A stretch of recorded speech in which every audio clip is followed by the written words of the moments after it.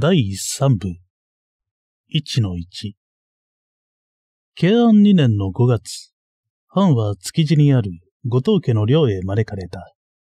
寮では小三郎が待っていて、自分で新しく建てた家の方へ案内した。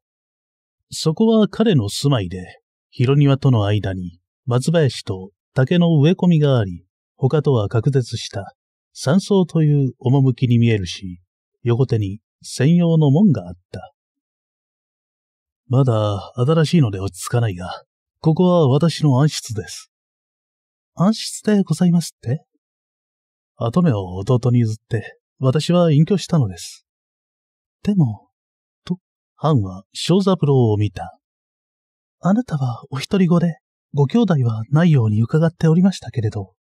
ああ、と、小三